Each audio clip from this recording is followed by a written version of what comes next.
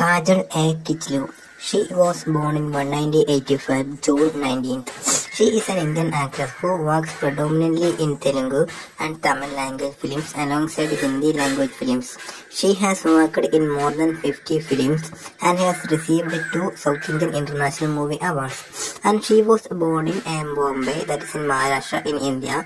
And her other name is Kajal A. Kichlu and she is shortly known as Kajal Agarwal. And her educated college name is Kishinchand Chellaram College and she is an actress 2004 to actively present and her husband name is Gautam Kichlu. She married to uh, Gautam uh, married to her is 2020 and she have one children and her relative name is uh, Nisha Agarwal.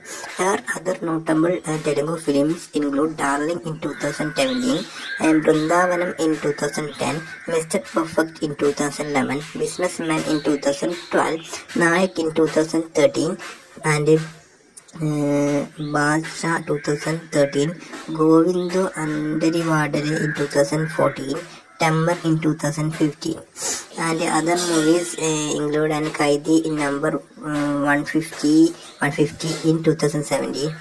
She has also played the female lead in the high-profile Tamil projects Naan Mahaan Alla 2010, Matran in 2012, Thuppakki in 2012, and the, she acted Thuppakki movie with Vijay, and Jilla in 2014 also with Mohanlal and Vijay.